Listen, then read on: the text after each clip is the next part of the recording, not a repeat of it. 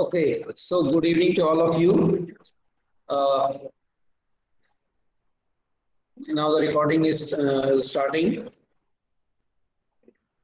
In the uh, last lecture, we are discussing about the Schrodinger wave equations and interpretations of the Schrodinger's wave equations. Okay, uh, as Schrodinger's gives uh, three equations that is Schrodinger's time dependent Schrodinger wave equations, time independent Schrodinger wave equations, and wave, wave equations for a free particles.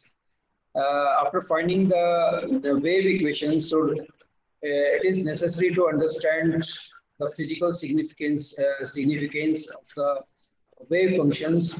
Uh, uh, therefore,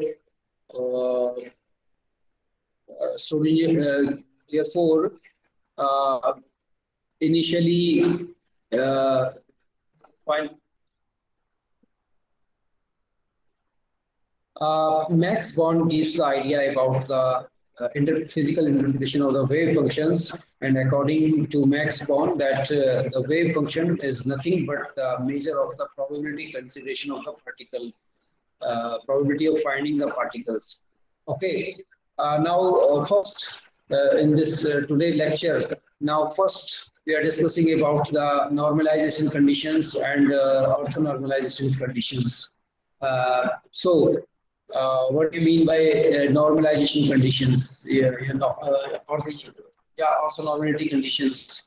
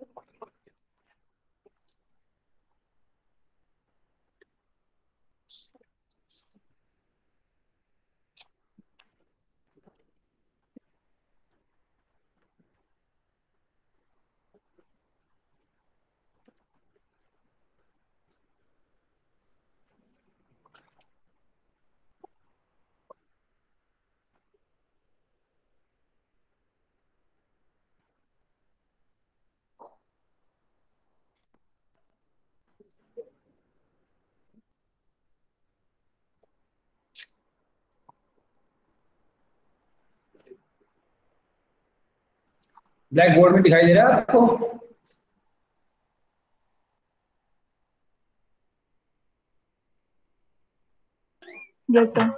अब clear है? Vision clear है?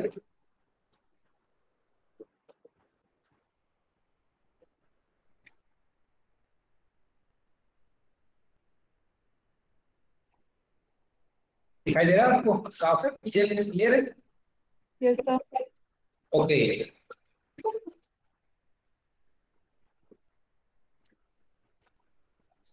हाँ, तो normalisation conditions क्या होती है? As we know that probability consideration psi star psi या psi modifier is the probability consideration या हम कह सकते हैं कि probability of finding the particle तो नॉर्मलाइजेशन uh, कंडीशंस क्या होती है? नॉर्मल जब भी पार्टिकल मूव करता है uh, जब भी पार्टिकल मूव करता है तो uh, उसकी नॉर्मलाइजेशन कंडीशन क्या होगी? Psi we know that psi star psi is the probability consideration P is equal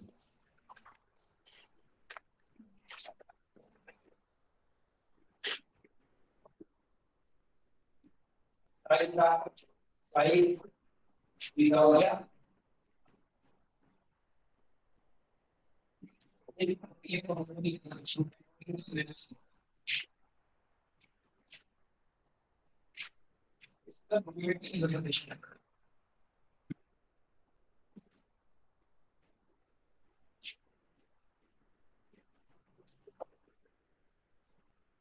sir limited portion दिखाई दे रहा है।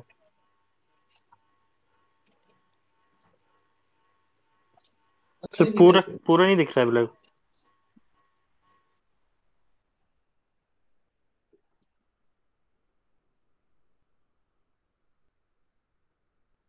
देखता हूँ, मैं अपने मोबाइल से चेक करके देखता हूँ, कितना दिखाई दे रहा है।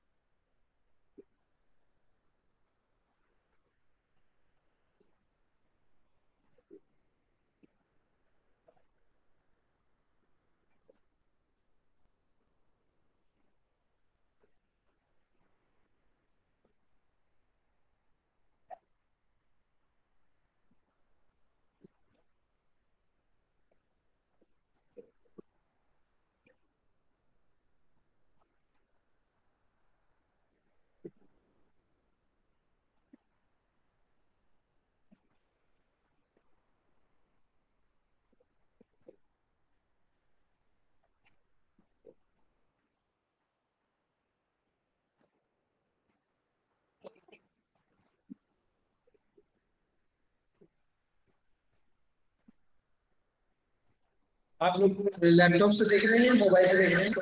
अच्छा ठीक।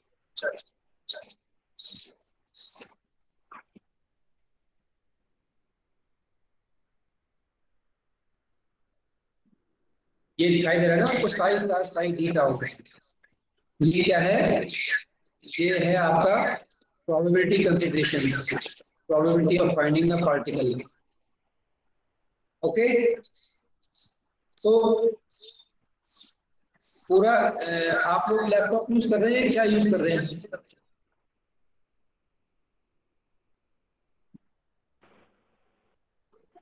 सर मोबाइल यूज़ कर हैं।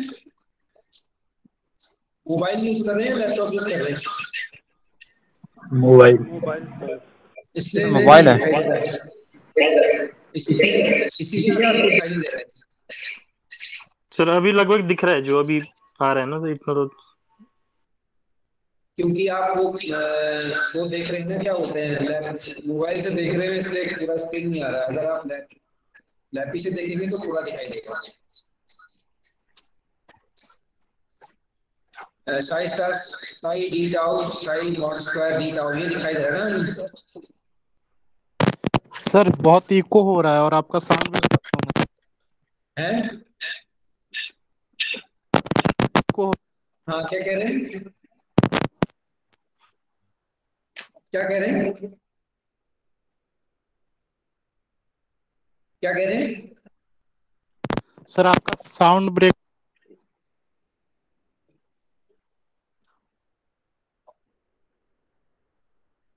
साउंड क्लियर नहीं है क्या?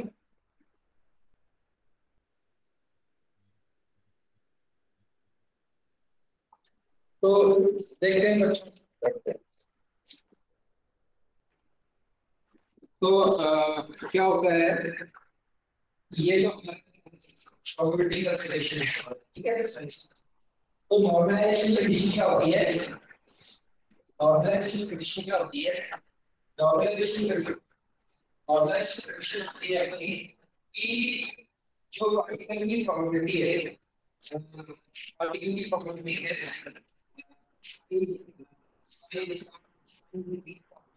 over minimum space ठीक है इसमें हमारी क्या होगी ये हमारी अगर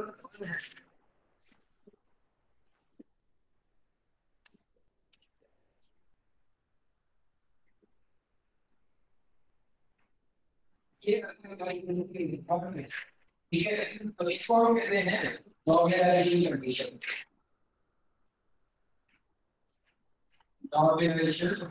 कहते हैं वन का मतलब है probability of probability probability of finding the particle within the region of space is probability हम देखे हैं ये लेकिन अगर हमारा ये probability की स्टेशन है ये एक चीज़ तो इसको कहते हैं और इसे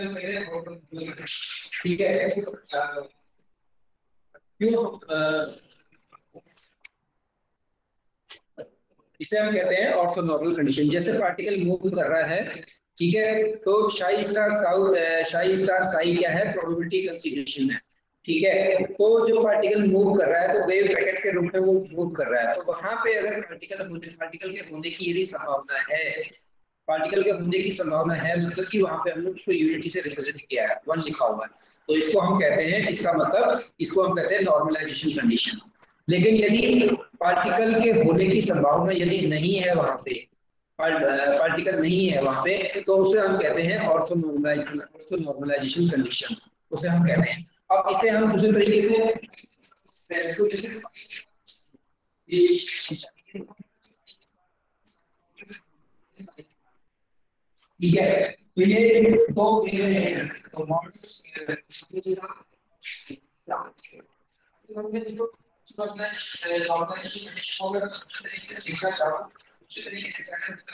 अगर भी साइन ठीक है कैरियर मतलब जैसे स्पीच वाली एक खबर दे रहे हैं ठीक है ये इसको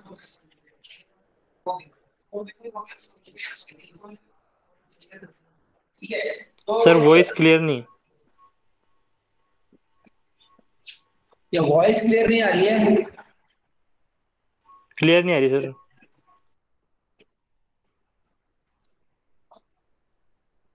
आजकल मेरे पास माइक्रोफोन भी नहीं है वाला। क्या होगा?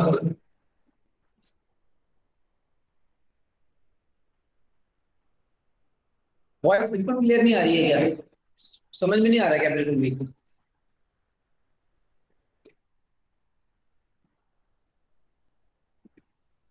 सर ब्लैक बोर्ड पे जा रहे हो तो कुछ टाइम सुनाई नहीं दे रहा है क्लियर क्या यहाँ पास से बोल रहा हूँ तो सुनाई दे रहा है? यस सर ब्लैक बोर्ड पे जा रहा हूँ तो बिल्कुल भी क्लियर नहीं आ रही है। मैं फ़ैन बंद करता हूँ एक मिनट क्या पता फ़ैन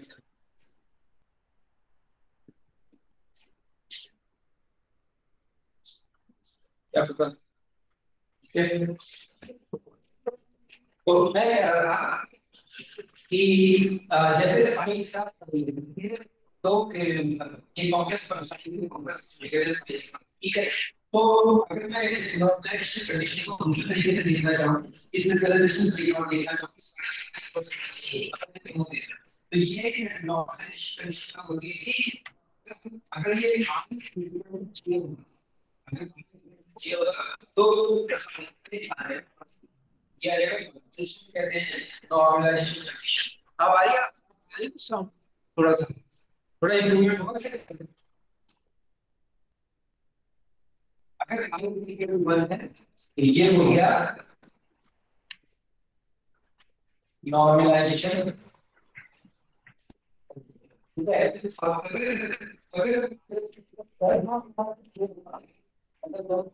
ये इक्वल नहीं है। ये कहते हैं कंडीशन या कंडीशन और ये है कि probability of finding the particle within the region of space अगर वो वन होगा पार्टिकल के होने की प्रोबेबिलिटी यदि वहाँ पे वन आएगी तो उसे हम कहते हैं नॉर्मलाइजेशन कंडीशन और यदि ज़ीरो होगा तो हम उसे कहते हैं ऑर्थोगोनल कंडीशन या ऑर्थो नॉर्मलाइजेशन कंडीशन तो ये ये ऑर्थो नॉर्मलिटी एंड ऑर्थोगोनलिटी ये इस तरह से होते हैं ये. ठीक है?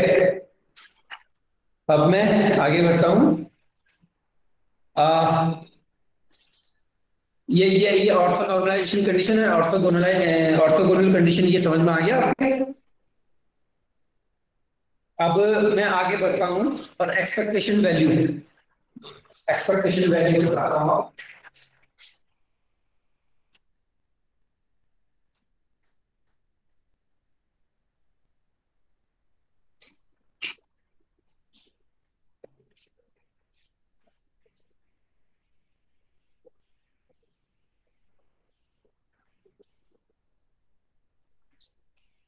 एक्सपेक्टेशन वैल्यू एक्सपेक्टेशन वैल्यू क्या होता है? क्वांटम मैकेनिक्स में क्या होता है कि according to the Born's wave function psi has probabilistic interpretations probability consideration होती है। शाई वेव फ़ंक्शन जो है, वो प्रोबेबिलिटी कंसीडरेशन है। ठीक है? तो therefore it is essential to calculate the average or expectation value of any dynamical quantity.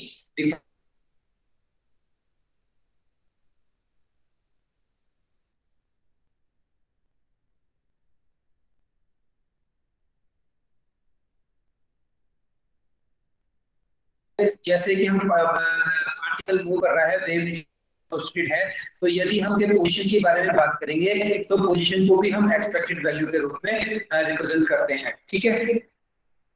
तो जैसे एवरेज और expectation value of dynamical quantity is a mathematical expectation for the result of signal measurements and it may be defined as the average of the result of a large number of measurements as independent systems मतलब कि कहने का मतलब ये है क्योंकि wave function हमारा probability interpretation है प्रोबेबिलिटी consideration हमारी वेव वेव फ़ंक्शन जो है हमारा प्रॉपर्टी कंसीडरेशन है तो इसमें हम जो भी फ़िज़िकल डायनेमिकल वैल्यूज़ को हम निकालेंगे, चाहे वो पोजीशन हो, चाहे वो एनर्जी हो, चाहे वो मोमेंटम हो, या कुछ भी हम वैल्यूज़ निकालेंगे तो वो सारी की सारी वैल्यूज़ जो है हमारी, वो एवरेज में आएगी, वो एक्सपेक्टेड वैल्यू आएगी, वो एक्सेक्ट वैल्यू नहीं आएगी एक्सेक्ट वैल्यू इसलिए नहीं आएगी क्योंकि वेव फ़ंक्शन जो है, वो हमारा प्रोबेबिलिटी कंसीडरेशन है। तो इससे जो भी हम डायनेमिकल फ़िज़िकल वैल्यूज़ निकालेंगे वेव फ़ंक्शन की, वो सारी की सारी हम एक्सपेक्टेड वैल्यू से निकालेंगे एवरेज वैल्यू से निकालेंगे हम, ठीक है? और वेव फ़ंक्शन को हम हमेशा रिप्रेजेंट करते हैं, जैसे कि जैसे कि हमारा कोई भी फ़ंक्शन है, जैसे कि हमारा कोई भी फ़ंक्शन है, जैसे ये फ़ंक्शन ये कोई भी फ़ंक्शन है एक्सपेक्टेड वैल्यू का सेम क्या होता है इसको ठीक है वो कंडीशन स्पेसिफिक करते हैं वो हैं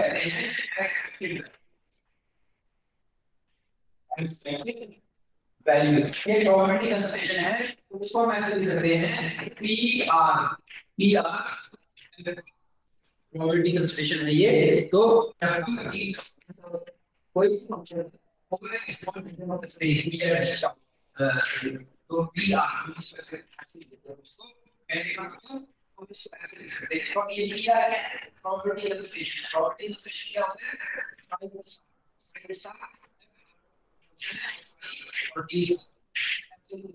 इस फ़ंक्शन को एक्सपेक्टेड वैल्यू को कैसे ले सकते हैं या कैसे सकते हैं तो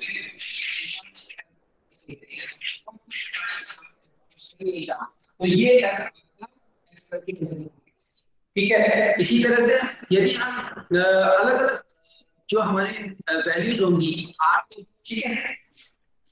अगर मैं अलग अलग लिखना होगा ऐसे लिखना होगा। अगर मैं इसे ऐसे लिख दूँ एक्स इसका सारी सारी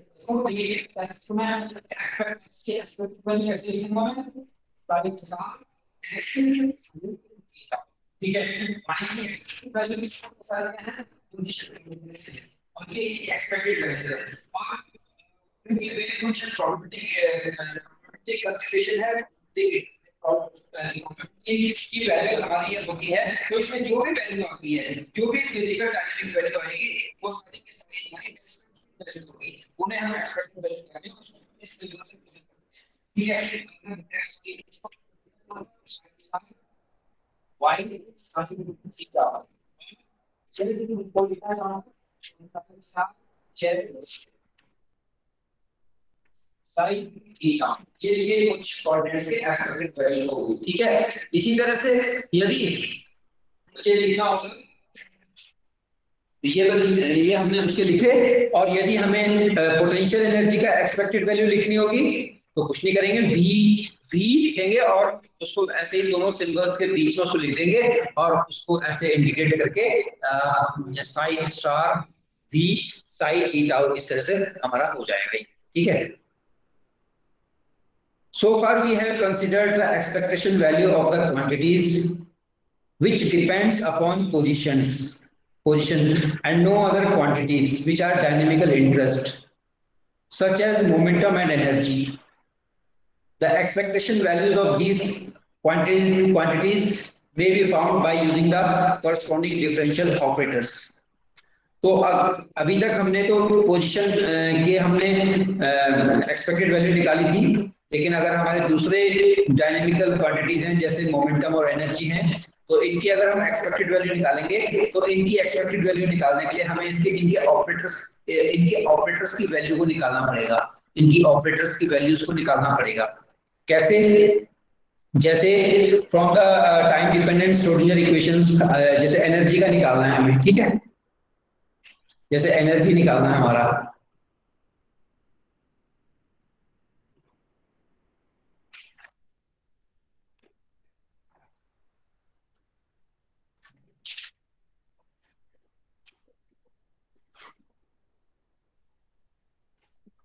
ठीक है? तो जैसे एनर्जी निकालना एनर्जी निकालना तो एनर्जी हमारी क्या हो जाएगी हमारी? एनर्जी हमारी क्या होगी?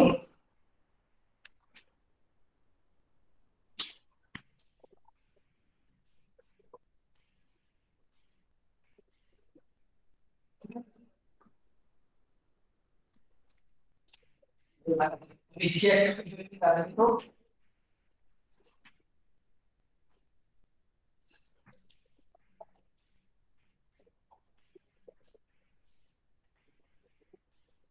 तो इनकी एक्सेप्टेड वैल्यू को ऐसे डालेंगे ठीक है?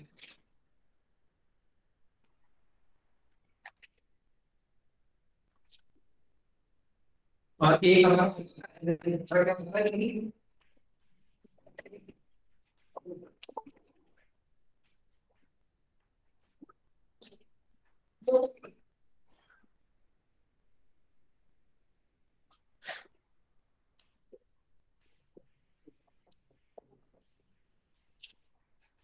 जो इसके एस्पेक्ट वैल्यू निकालेंगे तो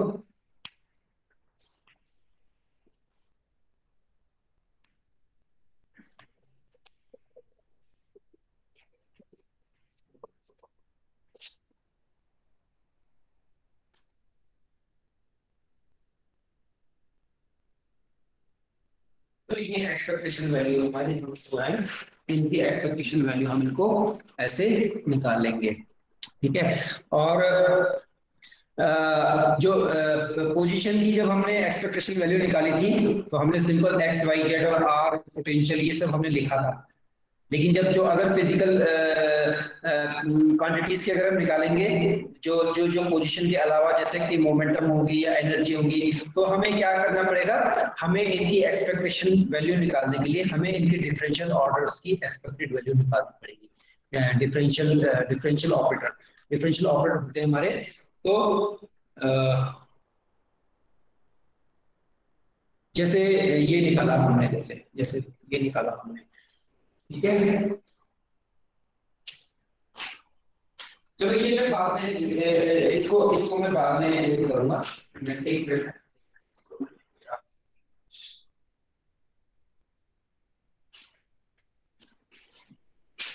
ये है ऐसे ना एनर्जी एनर्जी के आती है जैसे। इसका इसका निकालना है तो इसका निकालेंगे हम E इज़ इक्वल टू तो वो वैसे ही निकालेंगे, जैसे हमने बताया था साइन स्टार साइन और एनर्जी क्या होगी? एनर्जी वाला ठीक है हमने निकाला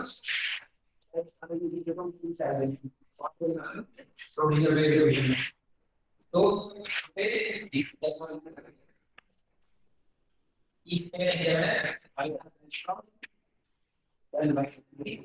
ठीक है?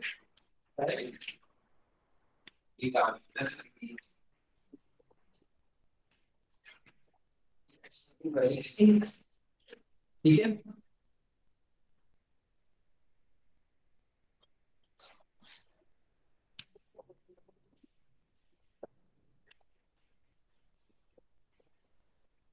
ये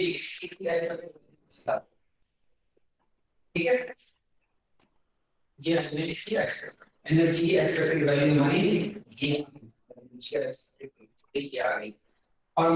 एक्सपेक्टेड वैल्यू अगर हम निकालना चाहेंगे मोमेंटम की एक्सपेक्टेड वैल्यू अगर हम निकालना चाहेंगे मोमेंटम की अगर एक्सपेक्टेड वैल्यू अगर हम निकालना चाहेंगे तो पी p वही साइज़ का p ठीक है तो जो मोमेंट डिफरेंशियल मोमेंटम का डिफरेंशियल ऑपरेटर होता है क्या होता है? मोमेंटम का डिफरेंशियल ऑपरेटर क्या होता है?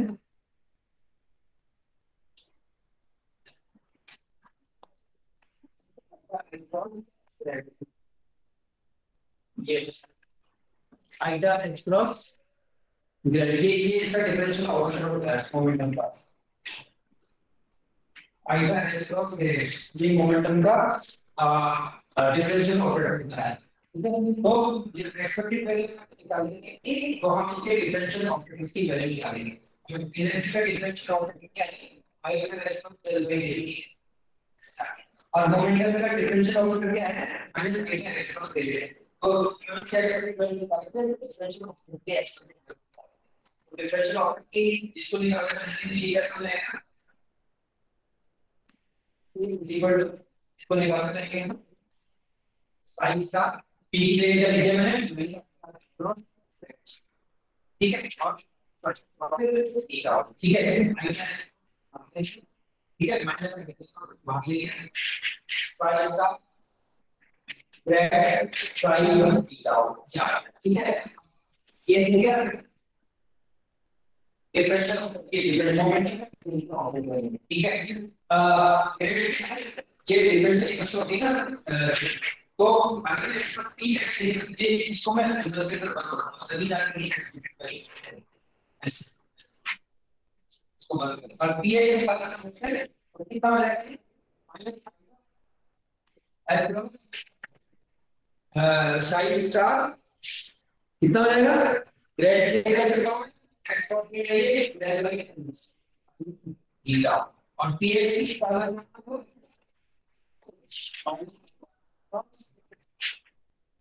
del y del y sin theta y y और z के निकालना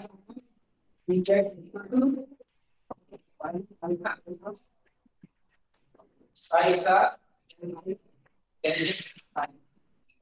ये इसकी एनर्जी का एनर्जी का एक्सट्रीम वैल्यू हमने निकाला उसके डिफरेंशियल ऑपरेटर से और मोमेंटम का एक्सट्रीम वैल्यू निकाली उसके ऑपरेटर ये ये डिफरेंशियल ऑपरेटर ठीक है तो ये हमने एक्सपेक्टेड वैल्यू निकाला ठीक है?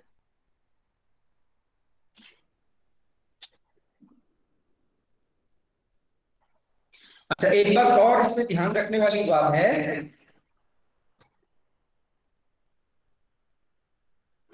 एक बात और इसमें ध्यान रखने वाली ये है कि जो हमारी एक्सपेक्टेड वैल्यू निकलेंगी वेव बच्चों अब आपका आवाज़ साफ़ आ रही है? अब मैं जब बोर्ड में भी जा रहा हूँ तो। सर क्लियर नहीं आ रही अभी। भी अभी भी साफ़ नहीं आ रही है क्या? नहीं सर। और जब मैं पास आ रहा हूँ तब आ रही है साफ़ ये सर सब सही है। लेकिन तुम समझ रहे हो बात को मैं क्या कह रहा हूँ? वो समझ पा रहे हो तुम जो मैं कहना चाह रहा हूँ? सर कुछ कुछ है? पूरा क्लियर नहीं समझ समझ रहे। यार मैं ये मेरे मेरे लैपटॉप का ऑडियो ऑडियो वाला खराब हो रखा है क्या? या मुझे क्या दोबारा एक्सटर्नल लगाना पड़ेगा ऑडियो में कुछ?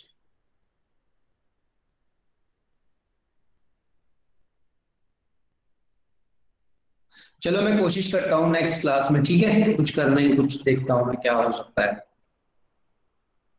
बोर्ड में साफ़ दिखाई दे रहा है? यस सर यस ठीक है। मैं ये कह रहा था कि जब भी हम जो वेव फ़ंक्शन के जो भी फ़िज़िकल डायनेमिकल क्वांटिटीज होती हैं, उनकी हम हमेशा एक्सपेक्टेड वैल्यू निकालते हैं एवरेज वैल्यू निकालते हैं। और उसकी वजह यह है, क्योंकि जो वेव फ़ंक्शन है, वो प्रोबेबिलिटी कंसिडरेशन है। पार्टिकल के होने की संभावना है भी और नहीं भी है। तो प्रोबेबिलिटी कंसिडरेशन है। इस वजह से वेव फ़ंक्शन के जो भी फ़िज़िकल क्वांटिटीज होंगी, उनकी हम एक्सपेक्टेड वैल्यू निकालते हैं। और एक्सपेक्टेड वैल्यू जब हम निकालते हैं तो मैथमेटिकल सिंबल मैंने बताया था। जैसे कि पोजीशन वेक्टर का तो जैसे पोजीशन का अगर हमें पार्टिकल के पोजीशन का एक्सपेक्टेड वैल्यू हमें निकालनी है तो हम उसको दो एरो के अंदर बंद कर देते हैं। वो उसका सिंबल है एक्सपेक्टेड वैल्यू का। और इंटीग्रेट करके over a small region of space तो हम अ, हम ऐसे कर देते हैं इसको साई स्टार टी साई ऐसा लिखते हैं ठीक है? साई स्टार एफ़ एफ़ को फ़ंक्शन को ले लेते हैं और जो भी हमारी डायनेमिकल क्वांटिटीज होती है उसके बीच में उसको रख देते हैं। तो उसको हम एक्सपेक्टेड वैल्यूज़ हम कहते हैं। पोजीशन कोऑर्डिनेट्स के लिए हमने देखा मोमेंटम के लिए हमने देखा और जो अदर वेरिएबल डायनेमिकल क्वांटिटीज है हमारी, जैसे कि एनर्जी है और मोमेंटम है, उनकी जब हम एक्सपेक्टेड वैल्यू निकालते हैं तो उनकी एक्सपेक्टेड वैल्यू के लिए हमें उनके डिफरेंशियल ऑपरेटर्स की एक्सपेक्टेड वैल्यू निकालनी पड़ती है। जैसे हमने एनर्जी का डिफरेंशियल ऑपरेटर होता है E is equal to iota H cross del psi by del T है। हमने वो है वो इक्वेशन पढ़ी थी पीछे H I is equal to E psi जो सोलिनर वेव इक्वेशन पढ़ी थी। तो उसका जो एनर्जी का डिफरेंशियल ऑपरेटर था E is equal to iota H cross del psi by del T जो हमने पढ़ा था तो उसका जो एनर्जी का डिफरेंशियल ऑपरेटर क्या है? Iota H cross del by del T psi तो कोई वेव फ़ंक्शन हो गया। ठीक है? तो हम इसकी एनर्जी की एक्सपेक्टेड वैल्यू निकालेंगे तो हम उसकी डिफरेंशियल ऑपरेटर की एक्सपेक्टेड वैल्यू निकालेंगे। उसी तरह मोमेंटम का डिफरेंशियल ऑपरेटर होता है। मोमेंटम का डिफरेंशियल ऑपरेटर होता है हमारा। Minus iota H cross grad जो लिखा है मैंने वहाँ पे तो अगर इसका एक्सपेक्टेड वैल्यू निकालनी है हमें तो साई स्टार और बीच में minus iota H cross grad और फिर साई और डी टाउ ऐसा हम इसको कर देते हैं। और ग्रेड क्या है हमारा? एक थ्री डायमेंशनल डिफरेंशियल इक्वेशन होती है हमारी। तो अगर एक्स कोऑर्डिनेट का मोमेंटम कोऑर्डिनेट का निकालना हमें तो पी एक्स इक्वल टू ये हमने ब्लैक बोर्ड में जैसे लिखा हुआ है P X equal to minus iota H cross psi star grad D tau कर दिया पी एक्स ग्रेड तो ग्रेड तो हमारा कंपोनेंट के मोमेंटम के निकालने हमें एक्स वाई पी जेड के निकालने हैं तो एक्स से निकाले minus iota X cross sine का L sine by del X D tau Y के निकाल वाई टाउ और जेड के निकाल दिया तो minus iota X cross sine का साइन डी टाउ ये है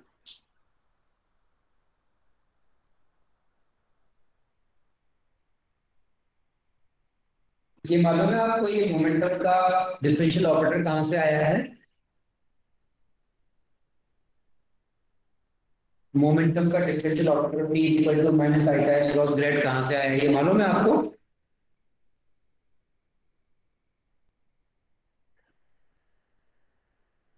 कहाँ से आया? मालूम है बच्चों आपको?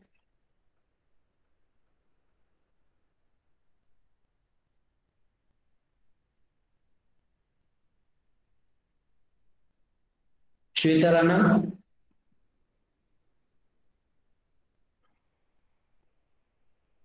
श्वेता राणा सुन रहे हैं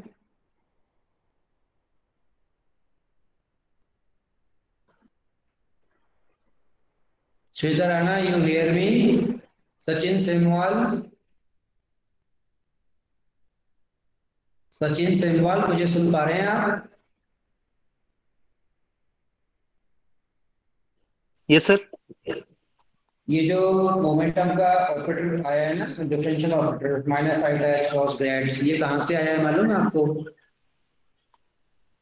सर ये सर। शायद जब हैमिल्टन मतलब जब टोटल एनर्जी से साथ कुछ मैनिपुलेशन करते हैं। हाँ ठीक बोला। तो वहाँ से हमारा ये हैमिल्टन ये मोमेंटम का डिफरेंशियल ऑपरेटर आ जाता है। भास्कर ओझा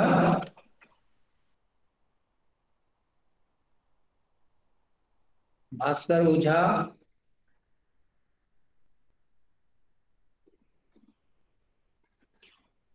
क्लास में हो भी या खाली माउंट करके अपने काम पे लगे हो?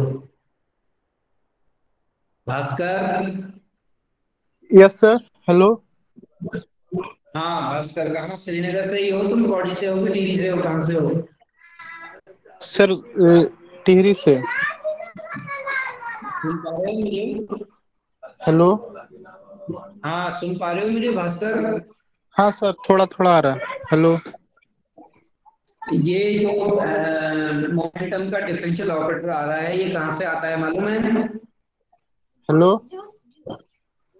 हाँ मैं सुन रहा हूँ आप बोलिए।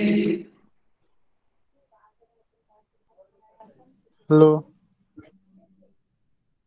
उसे मेरी उसकी आवाज़ मुझे आ रही है। उसे मेरी आवाज़ नहीं आ रही है। ऐसा कुछ है। भगवान सिंह? यस सर सुन पा रहे हैं मुझे? यस सर ये मोमेंटम का डिफरेंशियल ऑपरेटर आ रहा है। ये कहाँ से आया मालूम है आपको?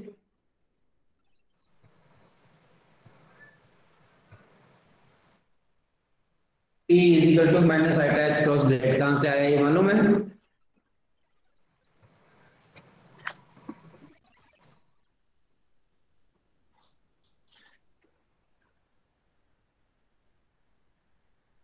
भगवान सिंह यस एंड नो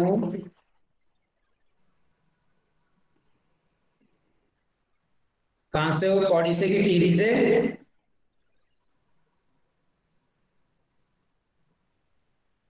भगवान सिंह? पौड़ी से हैं कि टीरी से हैं? हेलो हेलो हाँ कहाँ से हो? पौड़ी से हो कि टीरी से हो? Srinagar sir hello hello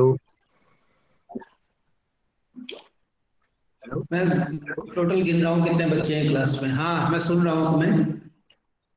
ये जो। मोमेंटम मोमेंटम का डिफरेंशियल ऑपरेटर आया है ये कहाँ से आया है मालूम है?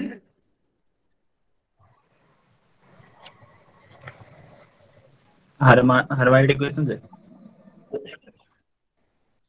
हेलो मैं सुन रहा हूँ मैं बोलिए हाँ। हरमाइड डिफरेंशियल इक्वेशन से। हर्माइट डिफरेंशियल इक्वेशन से आया है।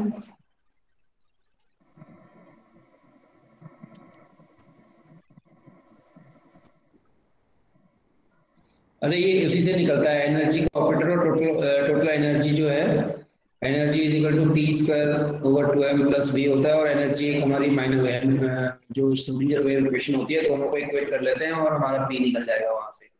वो जो अभी बता रहे थे। सचिन सेनवाल सही बता रहा था वो। ठीक है? तो ये ये हमारे एक्सपेक्टेड वैल्यू होती है। ये हमारी एक्सपेक्टेशन वैल्यू होती है। तो हम क्या करते हैं, इसमें जो भी हम वैल्यू अच्छा इसमें एक बात ध्यान रखने वाली बात है।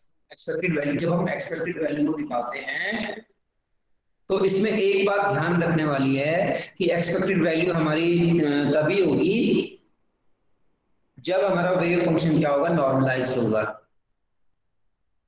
जब हमारा एक्सपेक्टेड वैल्यू कब निकलेगी हमारी? जब वेव फ़ंक्शन हमारा नॉर्मलाइज्ड कंडीशन में होगा। नॉर्मलाइज्ड कंडीशन से हमारा मतलब क्या है कि पार्टिकल के होने की संभावना होगी जब प्रोबेबिलिटी मतलब psi star equal to one होगा जहाँ पे साइज़ ठीक है? जहाँ पे पार्टिकल के होने की प्रोबेबिलिटी होगी, उसी वेव फ़ंक्शन के लिए हम एक्सपेक्टेड वैल्यू निकालेंगे। क्योंकि जब जब हमारा नॉर्मलाइजेशन कंडीशन का मतलब ये है कि वहाँ पे पार्टिकल है मतलब यूनिटी है ना, वहाँ पे वन लिखा ना हमने यूनिटी तो यूनिटी है मतलब कि वहाँ पे पार्टिकल है। जब पार्टिकल होगा तभी हमारी वेव फ़ंक्शन होगी, और जब हमारा वेव फ़ंक्शन होगा तभी हमारी एक्सपेक्टेड वैल्यूज़ भी निकलेंगी। तो it should be notice that the expected value uh, only holds if the wave function psi is uh, properly uh, normalized जब वेव फ़ंक्शन हमारी नॉर्मलाइज्ड होगी तभी हम एक्सपेक्टेड वैल्यूज़ को निकाल सकते हैं। ठीक है? और अगर अगर दूसरी कंडीशन ये है अगर हमारा वेव फ़ंक्शन नॉर्मलाइज्ड नहीं होगा वेव फ़ंक्शन नॉर्मलाइज नहीं होगा तो उसके लिए जो हम एक्सपेक्टेशन वैल्यू निकालते हैं वो इस फॉर्मूले से निकालते हैं।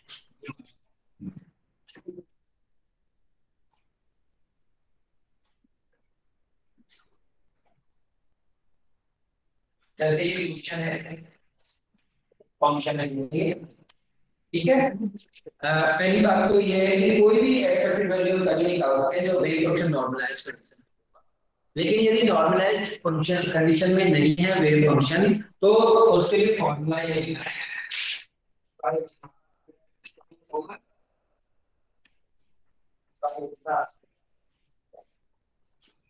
ये फॉर्मूला होगा यदि वेव फ़ंक्शन हमारी नॉर्मलाइज कंडीशन में नहीं है। तब हम ये वाली ये वाली इक्वेशन सॉल्व करेंगे। इस इक्वेशन को सॉल्व करके तब तब हम किसी भी फ़ंक्शन की एक्सपेक्टेशन वैल्यू को निकालेंगे। तब किसी भी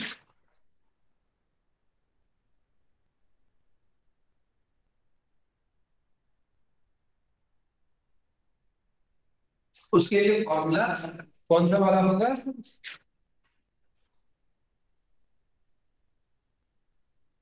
ये वाला फॉर्मूला साइन स्टार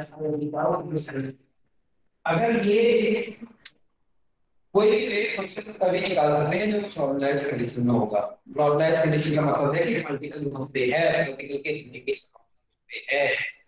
तभी अगर पार्टिकल है, तभी तो हम वेव फ़ंक्शन निकाल सकते हैं पार्टिकल ये नहीं होगा तो कैसे निकालेंगे?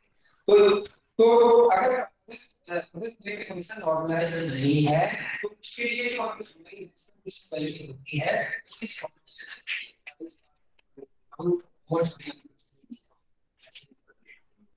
ठीक है? ठीक है? इसमें एक्सपेक्टेशन वैल्यू में ये एक कंडीशन है। अब मैं अगले टॉपिक पे आ जाता हूँ। प्रोबेबिलिटी करंट डेंसिटी और पार्टिकल फ्लक्स इस पर मैं आ जाता हूँ। probability, current density, or particle flux.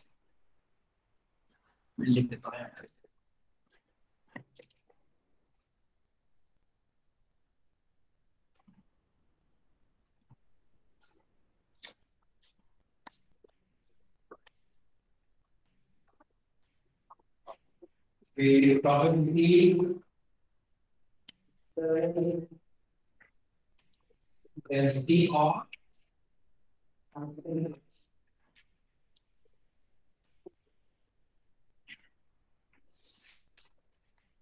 probability current density or particle flux ठीक है we have seen that the wave function is to be interpreted as a particle probability amplitude the motion of the particle is clearly to be associated with the motion of the wave functions. This general idea may be made quantitative by the introduction of probability current density. हम, जो particle move करता है, उसमें wave nature associated होता है। इस इस idea को हम प्रोबेबिलिटी करंट डेंसिटी से भी मेजर कर सकते हैं। प्रोबेबिलिटी करंट डेंसिटी से कैसे मेजर कर सकते हैं? Suppose if capital PR is the probability of finding the particle at a particular point in space, then the probability of finding the particle is the region of space of volume V bounded by the surface A is given by ये तो हम जानते हैं E is equal to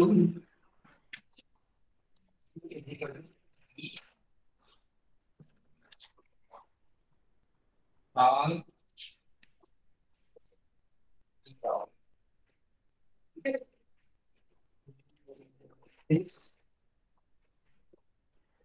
Yeah, probability है. ER is the probability of finding the particle at a particular point in space. Then the probability of finding the particle is a region of the space of volume V bounded by the surface area A is by. probability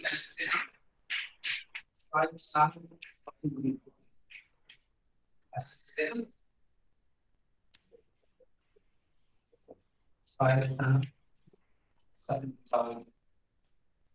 पता नहीं मुझे मालूम नहीं है आप लोगों को black board में दिखाई दे रहा है कि नहीं दे रहा है? मुझे ये भी नहीं मालूम है कि आप लोग ठीक से सुन पा रहे हैं कि नहीं सुन पा रहे हैं। मुझे मालूम नहीं है क्या आउट ब्लैक बोर्ड में दिखाई दे रहा है आप लोगों को?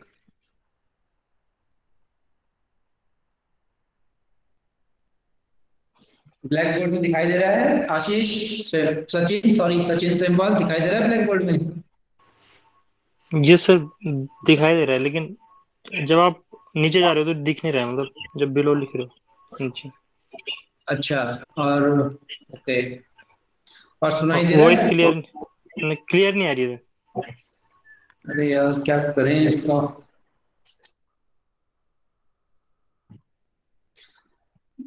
कुछ वो क्या कह रहे थे आप? नोट पैड होता है। वो क्या इंस्टॉल करना पड़ता है लैपटॉप में?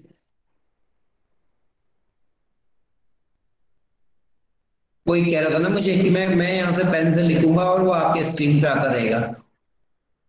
सर वो तो डिवाइस होता है शायद एक। तो वो डिवाइस क्या हम लैपटॉप में इंस्टॉल कर सकते हैं क्या? सर वो अलग से आता है शायद। नहीं, अलग से लैपटॉप में ही इंस्टॉल कर सकते हैं हम क्या?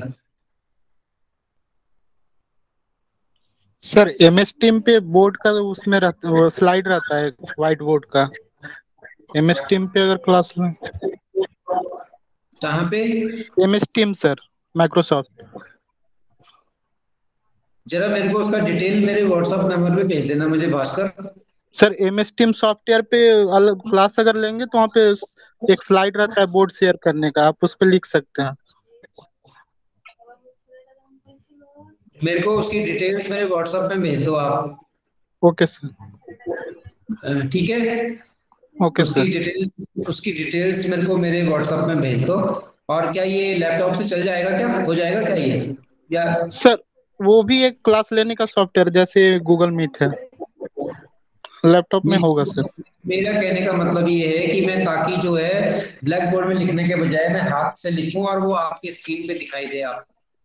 हाँ सर वो आप वहाँ पे लिख सकते हैं स्क्रीन पे वो बोर्ड शेयर करने का होता है। बोल्ड और बोल्ड बोल्ड शेयर करने का होता है तो बोल्ड तो अभी भी दिखाई दे रहा है आप लोगों को? नहीं सर ये बोर्ड नहीं उसका बोर्ड होगा उसी में एक होगा विंडो मुझे इसकी डिटेल्स मेरे व्हाट्सएप में भेज देना आप ठीक है? ओके सर फिर ऐसे में मुझे भी कंफर्टेबल नहीं लग रहा है क्योंकि अ, मैं बोल रहा हूँ आप सुन नहीं पा रहे हो मैं लिख रहा हूँ आप देख नहीं पा रहे हो। तो फिर ये जो है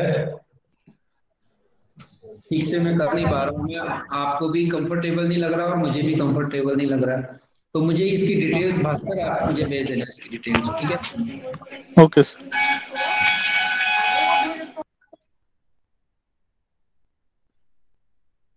तो अभी इसको सॉल्व करना है।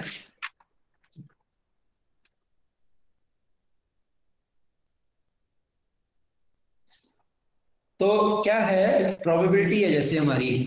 वेव पार्टिकल मूव हो रहा है, उसके साथ वेव नेचर एसोसिएट एसोसिएटेड है। तो जब पार्टिकल मूव हो रहा है, इसका मतलब हमारा क्या है प्रोबेबिलिटी मूव हो रही है। पार्टिकल पार्टिकल के होने की प्रोबेबिलिटी मूव हो रही है वो। इसका ये मतलब है।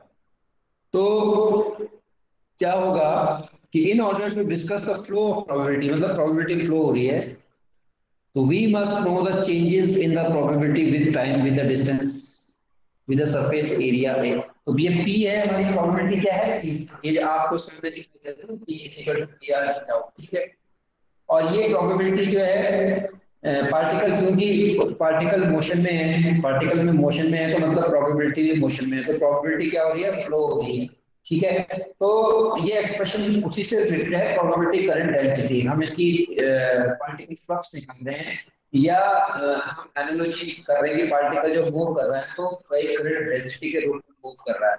मतलब जो पार्टिकल के होने की जो प्रोबेबिलिटी है, वो एक करंट डेंसिटी के रूप में मूव कर रही है। ये हम इसको शो करना चाह रहे हैं। ठीक है?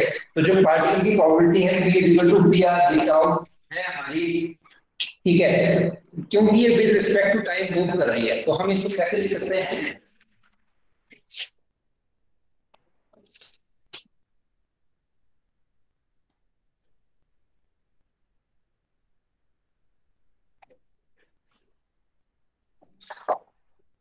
तो हम लिख सकते हैं पी प्रोबेबिलिटी को हम लिख सकते हैं। डी पी बाई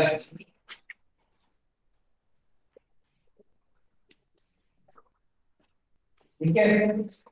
ये बी बाई डी है। ठीक है? ठीक है? बीटा होता है। ऐसे लिख सकते हैं इसको और करेंगे का आएगा।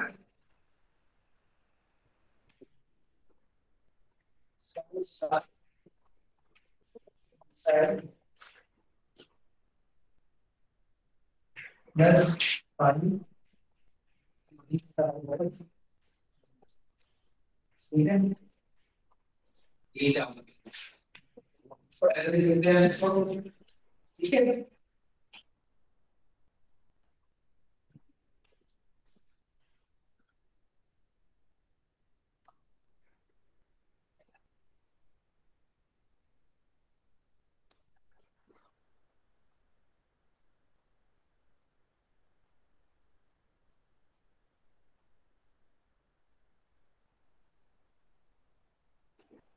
probability P को हमने डिफरेंशिएट कर दिया टी के रिस्पेक्ट में क्योंकि प्रोबेबिलिटी फ्लो हो गई ठीक है? और हमारी जो श्रोडिंगर वेव इक्वेशन है, वो सभी को मालूम है time dependent Schrodinger wave equation क्या होती है हमारी?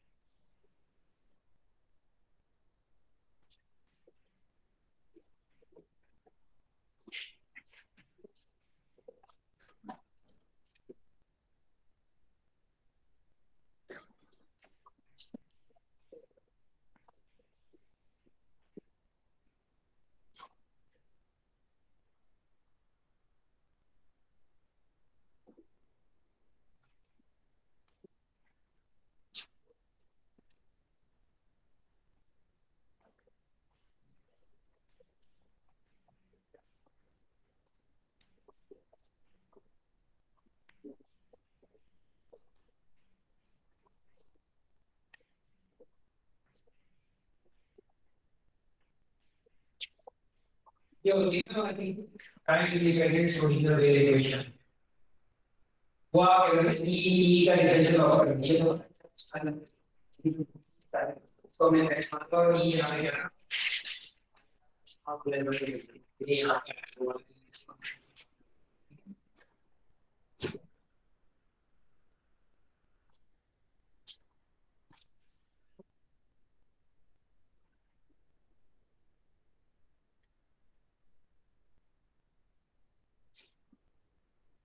ये time dependent Schrodinger wave equation है।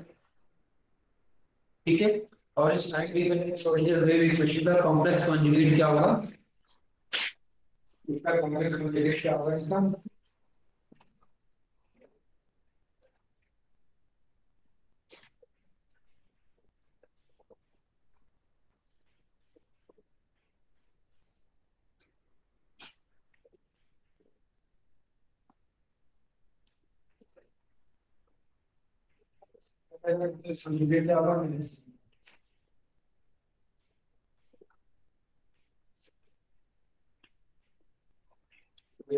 ठीक है।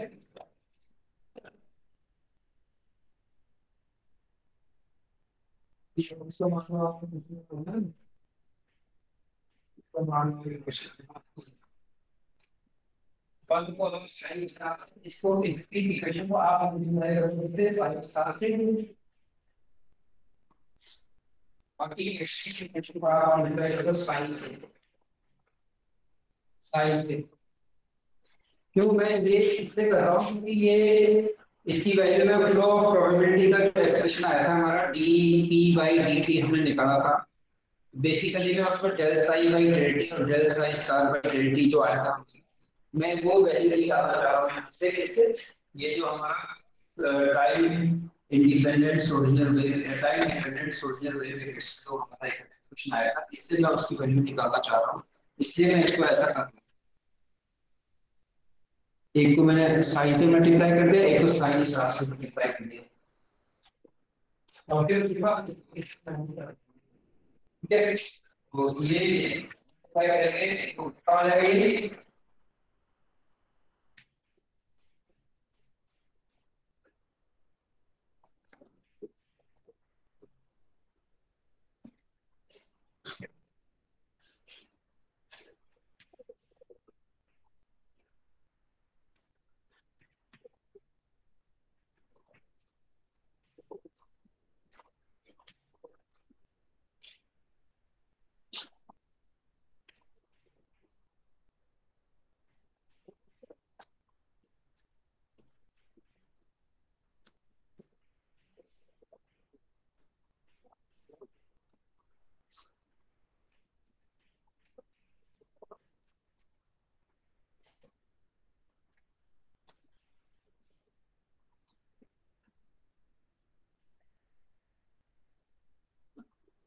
විශ්වාස කරන සංස්කාරසිකියා කෝම විශ්වම් සයසිකියා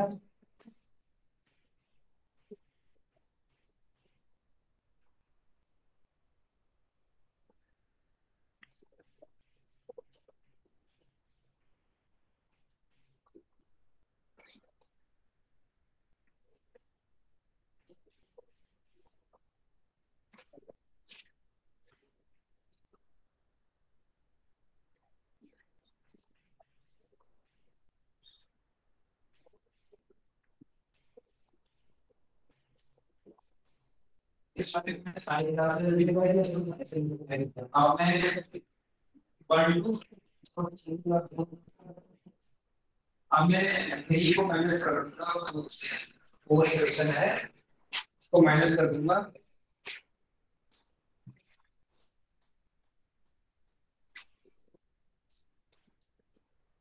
subtracting equation three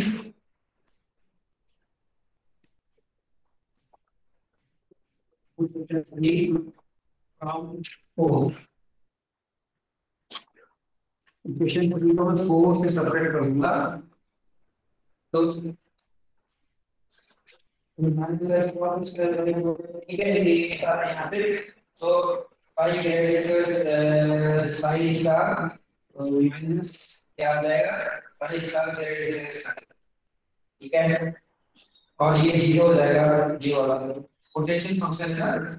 तो अगर दिखाने के लिए देंगे साइज़ सही बी का सही साइज़ का ये वाली तरफ़ से हमने क्या करेंगे? ये तो ज़ीरो हो जाएगी। ठीक है?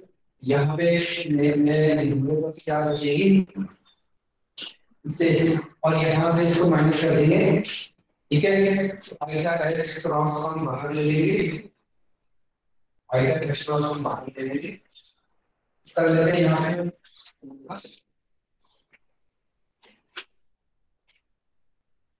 पर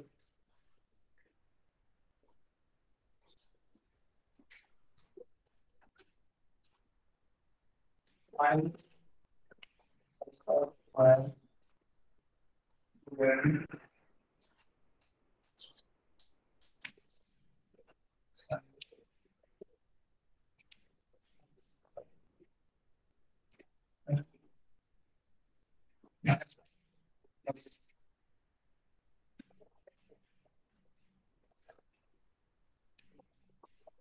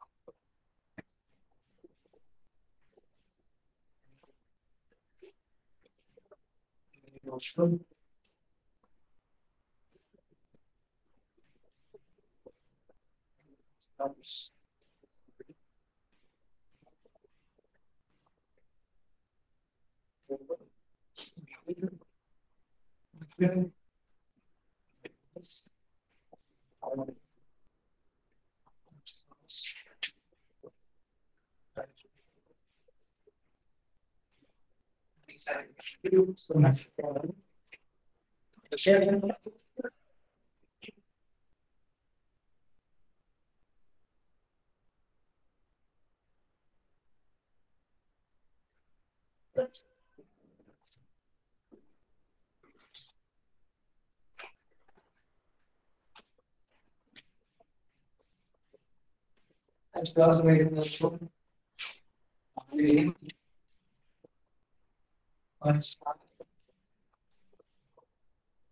let's say,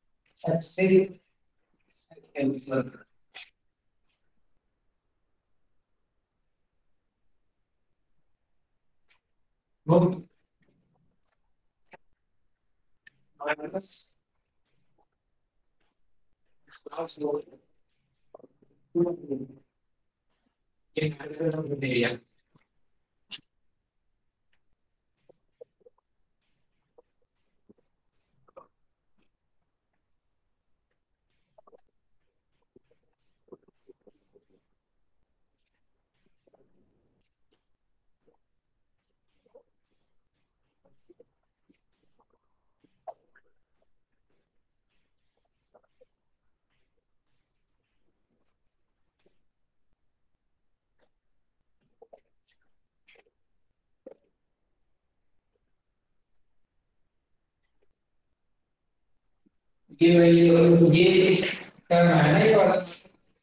ये टर्म क्या था हमारा? प्रोबेबिलिटी वाला टर्म था ना प्रोबेबिलिटी वाला।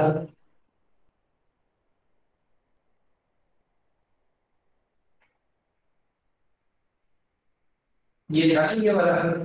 साइड डी साइड का है डी डी का साइड का डी साइड का डी ये प्रोबेबिलिटी वाला टर्म है वो क्या मतलब ई ई इस पर ई यानी ऐसे ये वैल्यू है ये ना सारी डी स्टार वाली E plus psi star D psi वाली प्रोबेबिलिटी वाली टर्म आई और ये डी ऐसा और इसकी वैल्यू ये वाली है इसकी वैल्यू में यहाँ यहाँ पे यहाँ पे रखना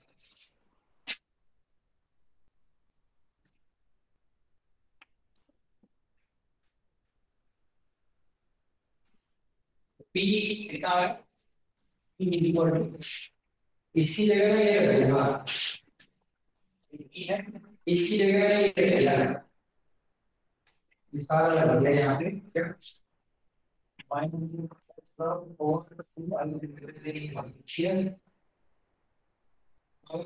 ये दे देने से सारी कुछ सामने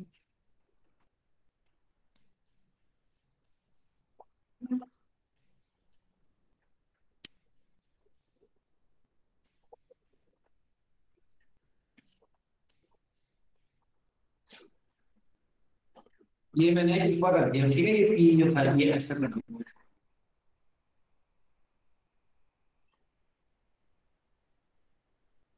पी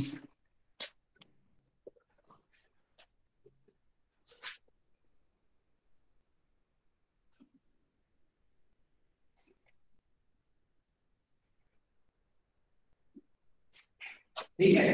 पी ये आ गया अब यहाँ पे हम क्या करेंगे? यूजिंग ग्रीन्स थ्योरम अब ग्रीन्स थ्योरम है ना? ग्रीन्स थ्योरम हम क्या कर सकते हैं? वॉल्यूम इंटीग्रल को हम सरफेस इंटीग्रल में कन्वर्ट कर लेते हैं। तो यहाँ पे हम ग्रीन्स थ्योरम का यूज़ करेंगे।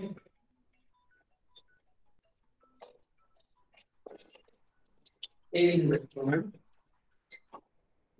आपको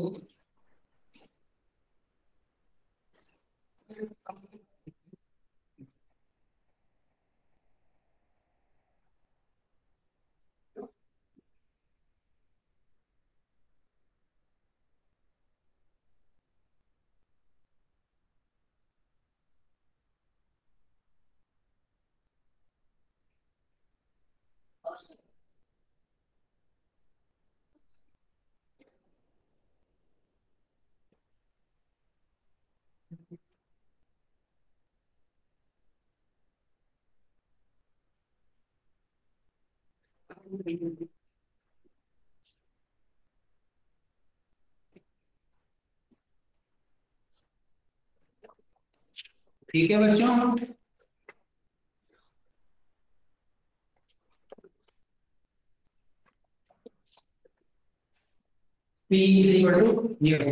ठीक है? तो अब यहाँ पे हम ग्रीन्स थ्योरम का यूज़ करेंगे। वॉल्यूम इंटीग्रल है ना? तो इसको हम सरफेस इंटीग्रल में कन्वर्ट कर कितने सारे डस्ट के वो दिखाई दे रहे हैं आपको बीच में मुझे दिखाई दे रहे हैं। चौक के डस्ट के वो उड़ रहे हैं पार्टिकल्स देख रहे हो बच्चों आप? चौक के डस्ट पार्टिकल्स देख रहे हैं, आपको दिख रहे हैं?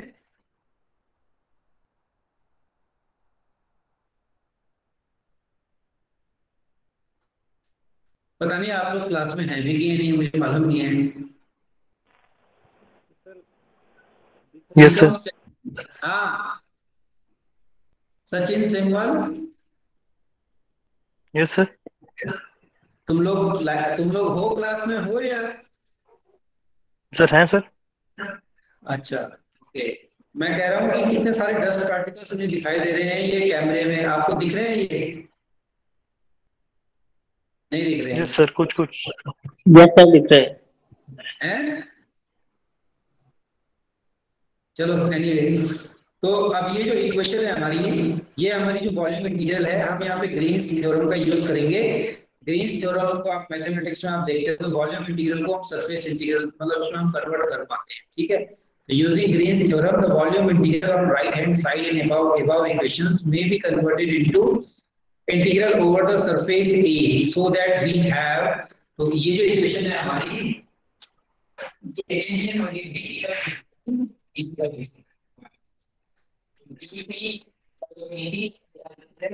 और ये हम सरफेस इंटीग्रल में हम इसको कन्वर्ट कन्वर्ट कर देंगे ये कैसे हो जाएगी हमारी माइनस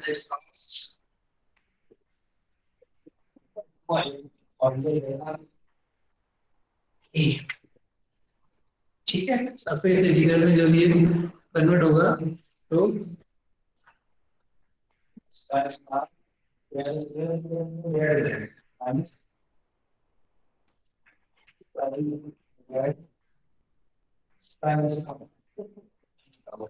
ये ऐसे हो जाएगा सॉरी ये डॉट ये टी का वॉल्यूम निकल रहा है ये सरफेस इंटीग्रल में चेंज हो गया डॉट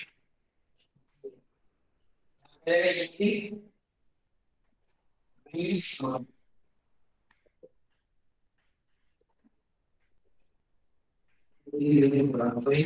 ठीक है? ये ऐसा हो जाएगा। अब इसमें हम जो है, मान लो ये हमारी वेक्टर क्वांटिटी मान लो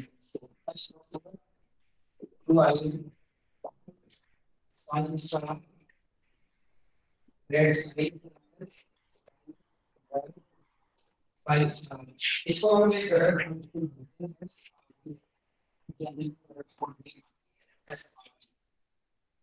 ठीक है?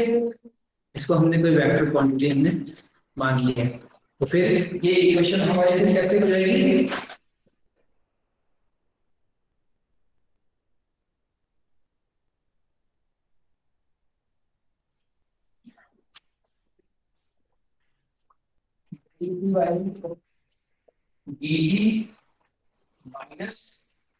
Dt minus x down e vector quantity plus s dot e हम इसको मान लिया x डॉट e तो s डॉट da का मतलब वो हमारा divergence of s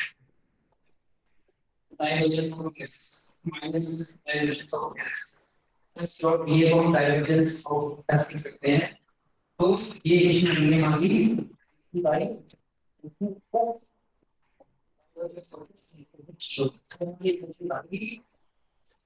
जो हमने फ्लो निकाला था प्रोबेबिलिटी जो हमने फ्लो निकाला उसमें फ्लो किसका किसका फ्लो है? प्रोबेबिलिटी का फ्लो है विद रिस्पेक्ट टाइम है।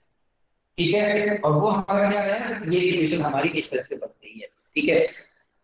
तो ये जो हमारी इक्वेशन बनी है, ये जो हमारी इक्वेशन आई है, ये इक्वेशन किस तरह से है? This equation is analogous to the well known equation of continuity in hydrodynamics hydrodynamics में हम इक्वेशन ऑफ़ कंटिन्यूटी पढ़ते थे। Del rho by del t plus divergence j is equal to zero. Hydrodynamics में rho हमारी fluid density होती थी जे हमारी current density होती थी। और यहाँ पे हमारा क्या आ रहा है? dp by dt plus divergence of s, ठीक है? तो हाइड्रोडायनेमिक्स में रो हमारी फ्लूइड डेंसिटी है और जे करंट डेंसिटी है। हमारे केस में ये इक्वेशन उससे मिलता जुलता है। तो यहाँ पे हमारी क्या है? पी क्या है? प्रोबेबिलिटी डेंसिटी है।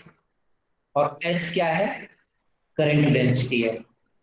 The simple interpretation of this equation is that A change in fluid density can be regarded as due to the unbalanced flow of current J across the मतलब हाइड्रोडाइनमिक्स में हम ये कहते थे del rho by del T plus divergence J is equal to zero हम जो पढ़ते थे। यहाँ पर क्या है it is thus reasonable to interpret the vector S R T यहाँ पे हमारे केस में एस आर टी क्या होगा? प्रोबेबिलिटी कंसिस्टेंट डेंसिटी होगा, जो हमारा टॉपिक हम देखा था। to the vector SRT as a probability, current density, so that from equation is equation we may interpret that changes in the probability, जो d dp by dt निकाला था हमने। Dp by dt क्या है? Changes in the probability. वो क्या represent कर रहा है? In the probability are due to the flow of current density. Uh, जो करंट डेंसिटी के फ्लो की फ्लो को रिप्रेजेंट कर रहा है। एस जो है एस क्या है? फ्लो ऑफ़ करंट डेंसिटी है एस ठीक है? तो ये जो हमारी इक्वेशन ये हमारी प्रोबेबिलिटी करंट डेंसिटी जैसे हमने equation of continuity in hydrodynamics में हम पढ़ते थे तो हमारे वेव फ़ंक्शन के केस में भी जो प्रोबेबिलिटी जो पार्टिकल जो फ्लो हो रहा है पार्टिकल जो मूव कर रहा है लेकिन वेव एसोसिएटेड है तो उसमें प्रोबेबिलिटी कंसीडरेशन भी है तो प्रोबेबिलिटी कंसीडरेशन जो मूव हो रही है विद रिस्पेक्ट टू टाइम वो बिल्कुल एग्जैक्टली सेम वैसे ही होती है, जैसे कि एनालॉगस होती है ये बिल्कुल वैसे ही, जैसे कि equation of continuity in hydrodynamics में होगा तो इसीलिए इसका टॉपिक का नाम है प्रोबेबिलिटी करंट डेंसिटी और पार्टिकल फ्लक्स ठीक है? So this is all about your probability and density of particle flux. ठीक है? अब नेक्स्ट क्लास में आपको लिंक दे दूँगा आपको मैं और फिर मेरे को ये भास्कर रोजा मुझे वो दे देंगे, ठीक है? मुझे व्हाट्सएप में भेज देंगे वो बता रहे थे सॉफ्टवेयर जो भी है वो।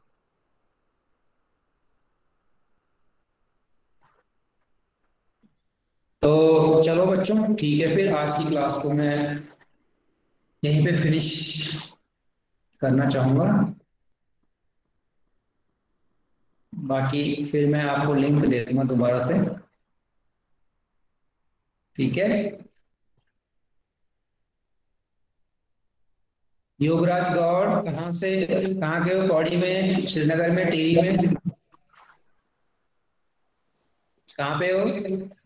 बीसीसी सर हैं? बीसीसी श्रीनगर ओके और ये Tikam Saini? Sir BCC Srinagar okay. तो मैं बच्चों आज की क्लास को यहीं पर फिनिश कर रहा हूँ। ठीक है? थैंक यू वेरी मच सबसे पहले मैं रिकॉर्डिंग ऑफ़ कर देता हूँ। और मैं ये रिकॉर्डिंग आपके व्हाट्सएप ग्रुप में भी दे दूँगा। आपका एमएससी थैंक यू सर मैं इसको मैं सबसे पहले रिकॉर्डिंग को क्लोज कर देता हूँ स्टॉप रिकॉर्डिंग